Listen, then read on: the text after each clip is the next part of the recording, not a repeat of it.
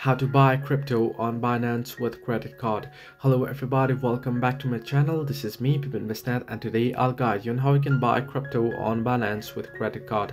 Now, in order to buy it with credit card, it basically means you want to set your credit card as the payment method when you're going to purchase a crypto.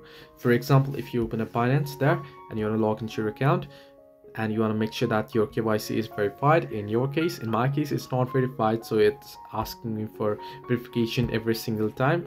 I'll just skip it since I don't want to. Once you're signed into your account, you'll get an face somewhat like this, right?